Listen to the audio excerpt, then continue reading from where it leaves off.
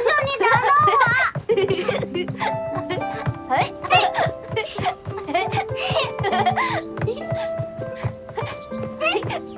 主上万安，皇后娘娘万安。都慢点儿。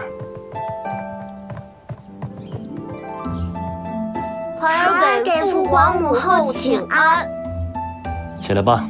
父皇，父皇最近好吗？孩儿都看不到父皇，可伤心了。哦，父皇最近很好啊。但是父皇听说你最近日日玩闹，没有好好读书啊！才没有呢！真的吗？那今天就让父皇考考你们两个，好不好？嗯。好，那父皇问问最近你们都看什么书了？孩儿在读《贞观政要》，先生说这是父皇最喜欢的书。先生说的没错，朕确实爱此书。那你们告诉朕，读完此书之后有些什么感悟啊？孩儿觉得太宗最了不起的地方，就是见贤者则敬之，不孝者则怜之。因为他有这样的心胸，用人则用其所长，无视其短，才有大唐盛世。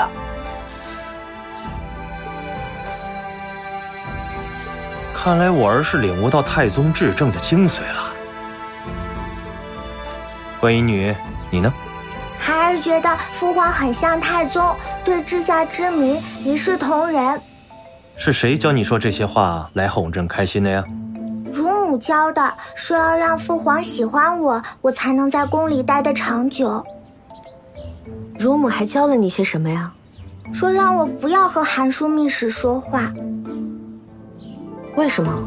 不知道啊。乳母只说他不会害我。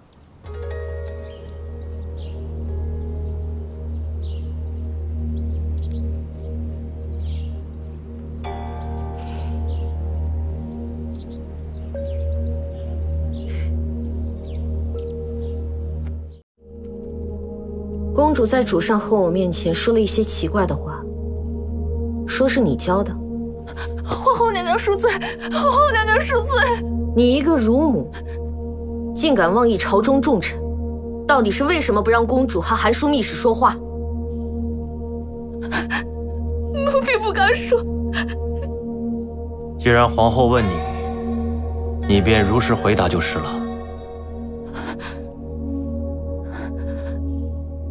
宫外有些风言风语，说说二皇子是皇后赶赴幽州城解围时怀上的，还说公主喜好也不似主上，奴婢怕再生了什么流言害了公主，这才让公主不与韩叔密使亲近。奴婢都是为了公主好，绝无二心。简直是无稽之谈。此话，你有没有跟观音女提过？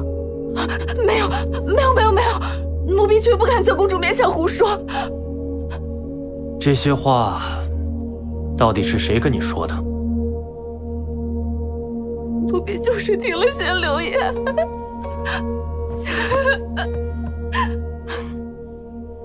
婉儿，务必将此事彻查清楚。是。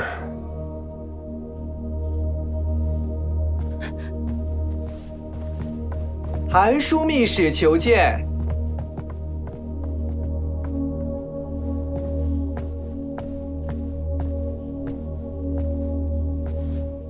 参见主上，皇后。韩大人匆匆而来，所为何事？臣想来看看主上。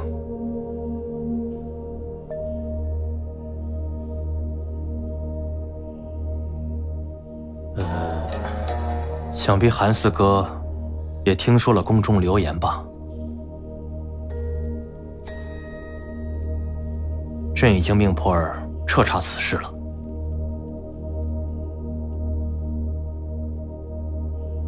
什么流言？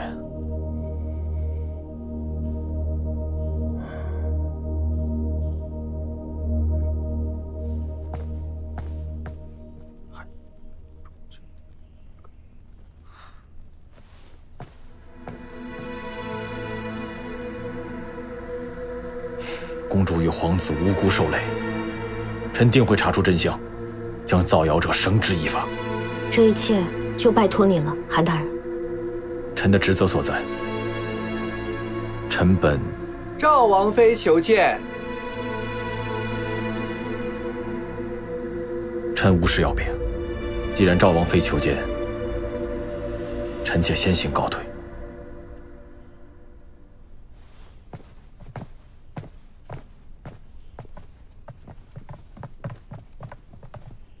二姐来了，臣妾参见主上，参见皇后。赵王妃有礼了，快赐座。主上身体没有大碍了。嗯。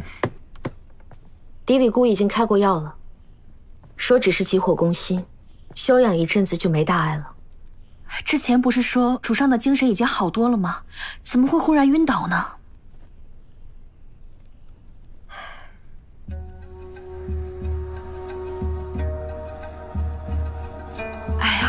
咱们姐妹俩有什么不好说的？哎，咱们别打扰主上休息。我陪你出去走走吧。你们姐妹二人也好久没见了，是该说说话了。去吧，走吧。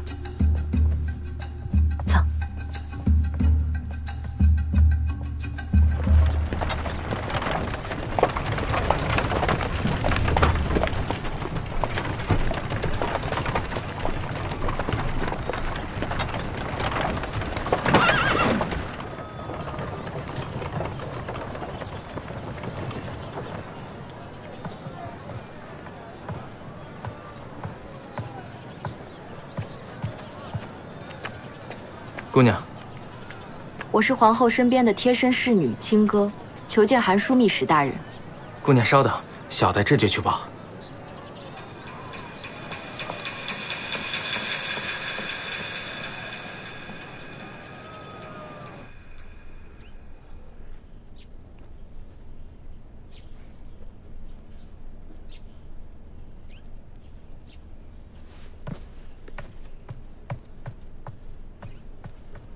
夫人，宫里来人了。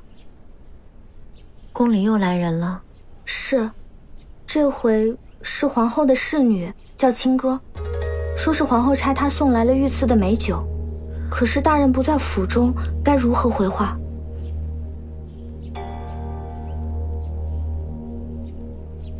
总归是宫中的使者，我得去应付一下。芳儿。